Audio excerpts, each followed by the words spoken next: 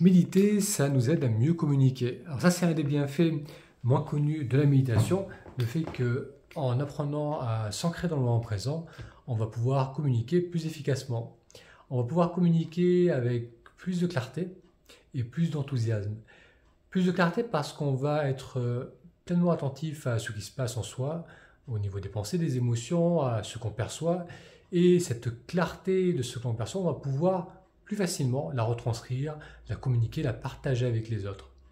On communique aussi avec plus d'enthousiasme parce que lorsqu'on est euh, pleinement ancré dans le présent, il y a comme un élan qui vient de soi et une envie de partager cela avec les autres et que ce soit la clarté ou l'enthousiasme, la personne qui est face à nous ou le groupe qui est face à nous va percevoir cela.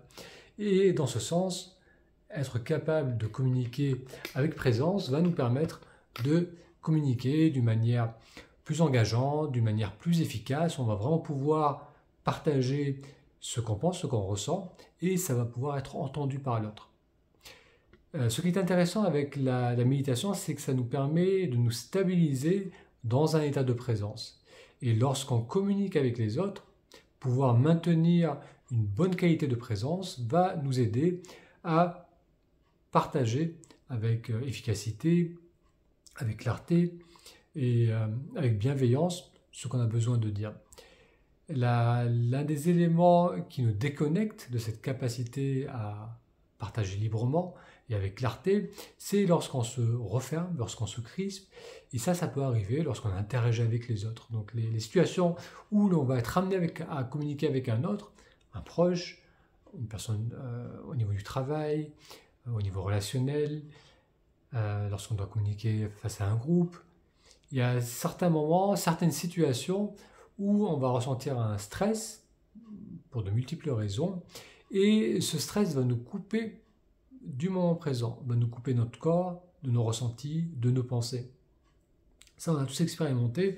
On est face à quelqu'un et on n'arrive plus à réfléchir clairement. On a du mal à trouver nos mots, on a du mal à se faire comprendre ça peut être assez frustrant, on peut même avoir du mal à comprendre pourquoi dans certaines situations on perd nos moyens.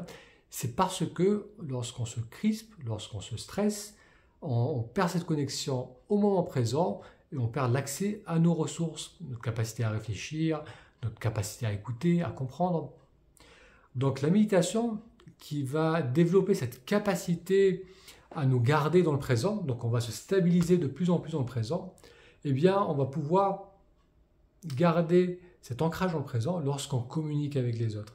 Et c'est pour cela que je disais en introduction que méditer, l'un des bienfaits de la méditation, c'est que ça nous permet de mieux communiquer.